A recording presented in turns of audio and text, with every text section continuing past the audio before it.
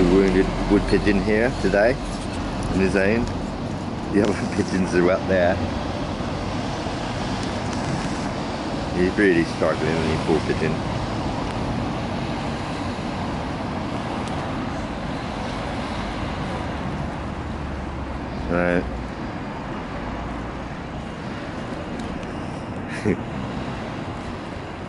Get, he's getting better than he was. Like I say, he's got a missing toe. See the missing toe he's only got on that one there. Definitely only got four fingers or four toes. Sorry, three toes. A thumb and two toes. Uh, it's struggling a little bit, isn't it? Oh look. that pigeon.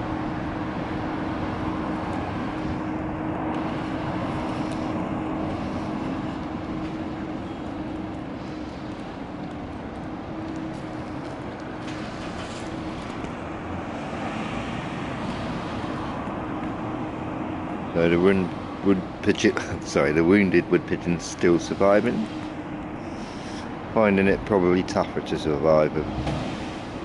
I mean, let's say a fox come, for instance, it might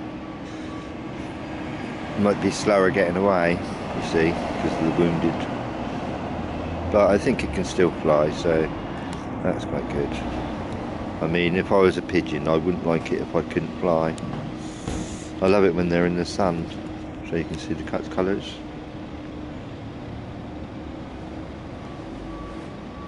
You're getting close to me. As close as he's ever got to me. I mean, these are a lot shyer than racing pigeons. They don't normally get close to you like this. This is in the sun now and you can see all the colours on it. Very beautiful. Close up look at the eyes.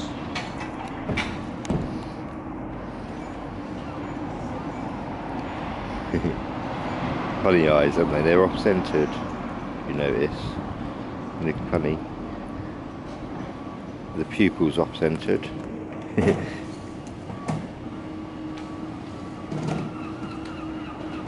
He's wounded, limping. Just like my brother is. My brother's broken his leg. And he's limping around a bit like that as well. it looks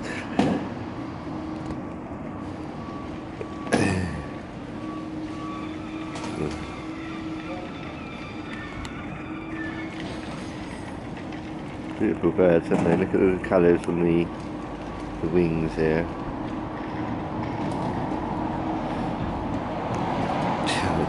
so he's really struggling. Goodness knows how he um, lost his toe. I really don't know. he can only dance now on one leg.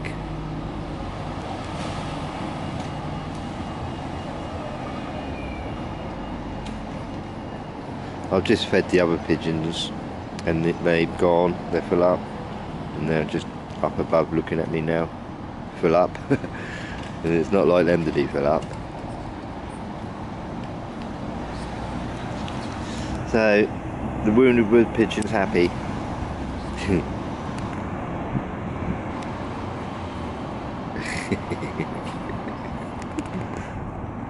well, that's it from me. Have a good day, love all birds.